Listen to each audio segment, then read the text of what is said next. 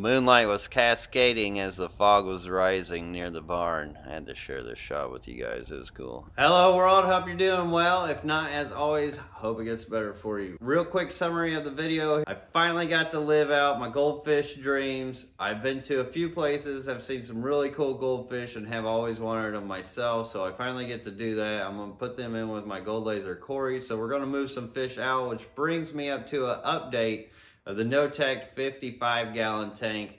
There's no cords to the tank, no light, no filter, no nothing, just uh, aquarium and nature. So update on that, plus moving some fish into the new barn and more new fish that I'm bringing into the quarantine. Plus there there's some wild cows that got into our property and much, much more. So let's just jump into it. All right, now I haven't updated you guys yet on this 55 gallon in Wesley's room. No tech, you can see no light, no filter, no plug-in. It's just an aquarium and Mother Nature and her light. And that's a north facing window, so it doesn't get any direct light. Let's go ahead and clean up the glass. Did get some algae growth earlier, but it's went through its phase and died off. So we're just scrape that up. It hasn't had a water change yet. Still not gonna water change it, actually. Even though it wouldn't be hard because I could open up that window and siphon it through. Maybe I'll do that someday, but we'll just keep it rocking because it seems pretty clean. Enough rambling. Let's clean up the tank and look at the fish because I'm about to move these guys into the barn and move some goldfish in. Which now I'm glad I didn't end up cutting this top for them because I won't need it for the goldfish. I don't think the goldfish will be able to jump. And doesn't look like much over here, but if you zoom in, it's actually still teeming with laser Corys.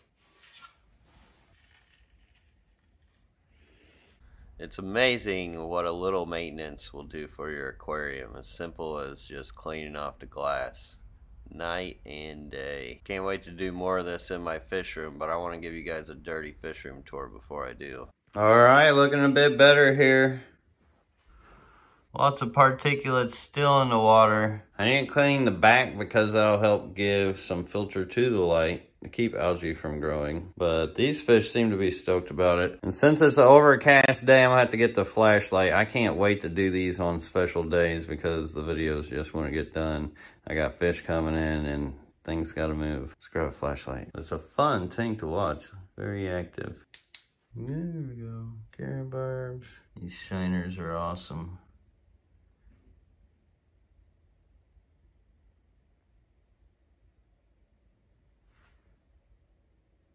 They don't like the flashlight.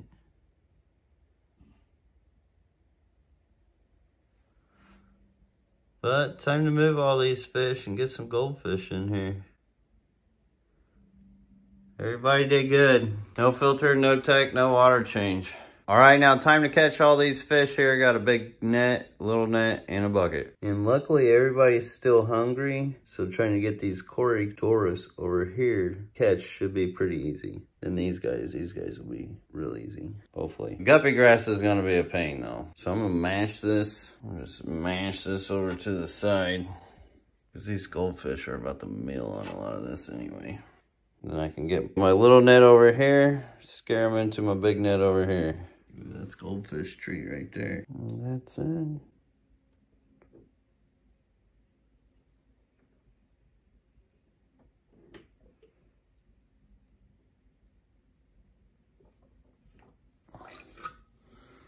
Yeah, what I can. Dang, that won't escape. I was trying to get the muck out of the net. Scoop mostly shiners. I'm just looking at these tanks, thinking about these fish. These little four fish right here, almost $250 worth of fish. Those Dacasia similis. Not just your average fish. These guys are some rare natives. There's a good shot. All right, those are out in a bucket. I think I'm gonna go ahead and leave my Cory cats in here because they can sift the bottom, sift through stuff that the goldfish can't. So I think they'll help keep it clean. Er, clean-ish. But I couldn't help myself. Finally got some goldfish. I've been wanting goldfish for quite some time. They had them in the auction here. There's two, four, five, and six and seven. So pretty much goldfish of all the color variants, or at least the shades going from white to orange and even calico. And I wasn't planning on getting two of these, but big shout out to Bruce. He gave me gave me the two that he ended up getting, and he realized he didn't have a home for them. So now we're gonna have goldfish tank. Always wanted to do this. Also swooped up some lime green endlers. These guys look fantastic. And also some black mollies. Always wanted these. These things are jet black. And some nice Japanese blue sword. And a bucket full of completely amazing Rainbow Tiger Endlers, which I created these years ago, but ran out of them. And big shout out to Mandolin FSU for hooking them back up to me. As always, now it's time to give them their fish bass. Do not do fish bass if you have chlorinated water. One red and white Oranda, beautiful fish. All right, first one in. So awesome. These will really brighten up in this no light, no tech tank. Here we got a Calico Ryukin and a white Oranda. Here's Wesley saying hi. hi. Which this white Oranda's got some really wicked eyes. Looks like it's got a bit of yellow on the tail and a yellow on the head. It's not fully white. And yeah, the Calico one's being a little goofy. We'll see how that turns out. He's got a mouth problem as well, looks like. I don't know what happened to his mouth, but he does have a deformity. We'll try to treat him the best we can. Which, put it in a natural aquarium and let it heal itself naturally. The bags had two big eye fantails on this. But it looks like only one is a big eye Oranda. And these two came out of the bag I knew I was coming home with and could not resist and really kind of opened that up for me. But two Orandas, one fully gold, gold white. Absolutely beautiful. Looks like that one's got a little something on its tail. I don't know what that is to take a look at it. Its head's a bit white too. Might have started getting ammonia burn from being in the bag. It could be a cyst. After inspection, could have been a bite mark on it at some point. It's healing up or scraped it on something.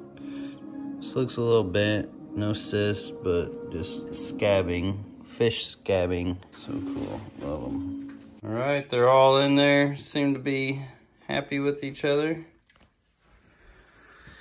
Says that guy, he's still being goofy, so we'll see how he does. There's Wesley. Mm, bye, Wesley. We'll check up on him here later.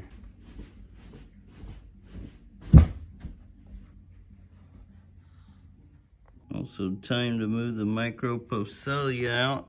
Not sure how this happened. We got cows in our yard.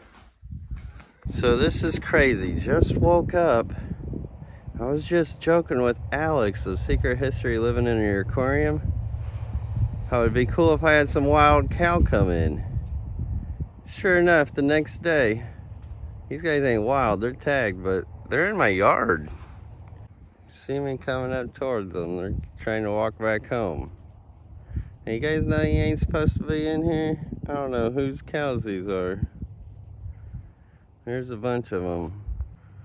What's up, my guys? They're finding their way. So uh, next day, the goldfish tank. These guys are easier to see in here. See that little calico guy, he's doing better today. I didn't do anything special, I didn't mess with him, I let him just gather himself. Now he's doing fine. Everybody is happy. This guy loves the guppy grass. Yes, he's alive. Wesley loves them. I love them. Looks so cool in this tank. Light hitting them a little weird, but we can see these fish a lot better than the other fish. And they seem to get along with the cory cats pretty well. So gold laser, goldfish tank. So cool. Pretty sure these goldfish were already breeding in the guppy grass too. I'm watching them, all chasing females. All the little clown killies are ready to come out of quarantine and then put them in the pond when they get bigger.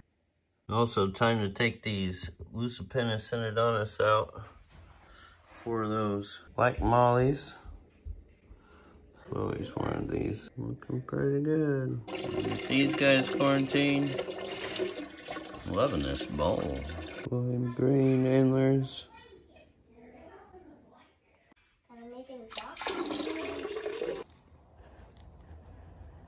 Know what time it is. Rock washing time. And sand. This is what I'll be doing for the rest of the day. Sifting sand, washing rocks, getting her done. Trying to finish off these 75s for breeding projects. And I figured I'd go ahead and put these clown killies in with these baby gold dust. They're big enough they won't get eaten. They're about the right size for everybody to grow up here together. Plus, natural green water environment, they're gonna grow fast in here. Gonna put the cats in the same tank too. I gotta catch these by hand because, well, that net's a square. Hard to do that with a round bucket. Love those things. There's the mollies. I know, my tank's dirty. Got ferts all over it. Look at everybody. I think they're happy to have friends. I don't see it. One clown killie, though. They're hiding really good. Anyway, thanks for watching. If you guys like this content, hit the subscribe button, hit the like button. That'd be awesome of you. And if there's something you want to share with our community audience or something about the video, hit it down in the comments for the algorithms. And thank you for joining us. I'll see you on the next one. Take care.